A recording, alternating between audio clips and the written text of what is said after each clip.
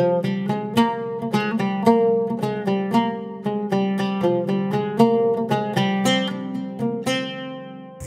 இன்னைக்கு ஆரோக்கியமான என்னோட all time favourite ragi smoothie எப்படி செய்யறதுன்னு பார்க்க போகிறோம் இது ரொம்ப ரொம்ப டேஸ்டியாக இருக்கும். ரொம்ப ஆரோக்கியமாகவும் இருக்கும். அதே சமயத்தில் ரொம்ப டேஸ்டியாக ஃபில்லிங்காகவும் இருக்கும்.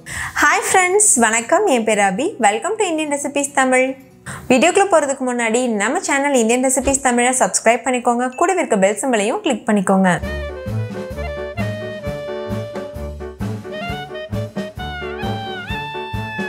ஃபஸ்ட்டு இந்த ரெசிபி பண்ணுறதுக்கு ஒரு பேன் எடுத்துக்கோங்க. அதில் கால் கப் அளவுக்கு ராகி மாவு சேர்த்துக்கோங்க. அதாவது கேழ்வரகு மாவு எடுத்துக்கோங்க.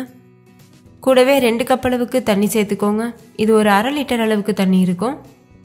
தண்ணி சேர்த்து நல்லா மிக்ஸ் பண்ணிக்கோங்க. கொஞ்சம் கூட கட்டிகள் இருக்கக்கூடாது. நீங்கள் வீட்டில் அரைச்ச மாவு இல்லை கடை மாவு ரெண்டுமே யூஸ் பண்ணிக்கலாம். இப்போ ஹை ஃப்ளேமில் வச்சுட்டு கெட்டியாகிறது வரைக்கும் நல்லா மிக்ஸ் பண்ணிகிட்டே இருங்க. கைவிடாமல் கலந்துகிட்டே இருக்கணும். அப்போ தான் அடிப்பிடிக்காமல் இருக்கும். இப்போ பாருங்கள் கலர் சேஞ்ச் ஆகிட்டு நல்லா கெட்டியாக ஆரம்பிச்சிருக்கு. இது முழுமையாக ஆறி வரும்போது இன்னுமே நல்ல கெட்டியாகும். இந்த ஸ்டேஜில் ஸ்டவ் ஆஃப் பண்ணிவிட்டு முழுமையாக ஆற வச்சுருங்க.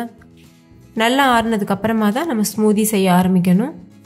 இந்த ராகி மாவு முழுமையாக வெந்து வர்றதுக்கு கிட்டத்தட்ட ஒரு பத்து நிமிஷம் கிட்ட ஆகும். அதனால் நல்லா வேக வச்சுட்டு அதுக்கப்புறமா ஸ்டவ் ஆஃப் பண்ணிவிட்டு ஆற வச்சுக்கோங்க. இப்போ ஒரு மிக்சி ஜார் எடுத்துக்கோங்க. அதில் ஊற வச்ச நட்ஸு சேர்த்துக்கோங்க. எட்டு மணி நேரமாவது நட்ஸ் வந்து நல்லா ஊறணும்.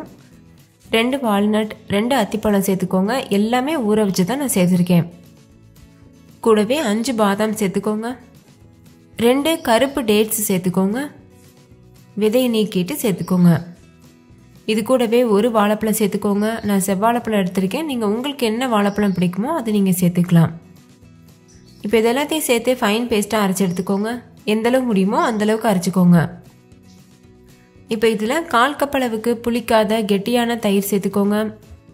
இது கூடவே தேவையான அளவுக்கு நம்ம செஞ்சு வச்சுருக்கோம்ல ராகி மாவு அதை சேர்த்துக்கோங்க. நான் ஒரு கரண்டி அளவுக்கு சேர்த்துருக்கேன். ஆறுனதுக்கப்புறமா இந்த அளவுக்கு கெட்டியாக தான் இருக்கும். இதெல்லாத்தையும் சேர்த்து நல்லா அரைச்சிட்டு ஒரு கிளாஸ்க்கு மாற்றிடுங்க அவ்வளோதான் நம்மளோட ஹெல்த்தியான ராகி ஸ்மூத்தி சூப்பராக தயாராகிருச்சு ஃபைனலாக இதில் குட்டி குட்டியாக கட் பண்ண நட்ஸ் தூவிட்டு நம்ம இதை சர்வ் பண்ணிடலாம். இதை நீங்கள் பிரேக்ஃபாஸ்ட்டாக சாப்பிட்லாம். ரொம்பவே ஃபில்லிங்காகவும் நல்ல ஆரோக்கியமானதாகவும் இருக்கும். ஸோ கண்டிப்பாக ட்ரை பண்ணி பாருங்கள் சின்ன குழந்தைங்கள்லேருந்து பெரியவங்க வரைக்கும் என்ஜாய் பண்ணி சாப்பிடுவாங்க. ஓகே ஃப்ரெண்ட்ஸ் இந்த ராகி ஸ்மூதி உங்களுக்கு ரொம்ப பிடிச்சிருந்துச்சுல? பிடிச்சிருந்தா லைக் பண்ணுங்கள் உங்கள் ஃப்ரெண்ட்ஸ் கூடவும் ஷேர் பண்ணுங்கள் நீங்களும் வீட்டில் செஞ்சு பார்த்துட்டு கமெண்ட் பண்ணுங்கள் தேங்க்யூ பாய்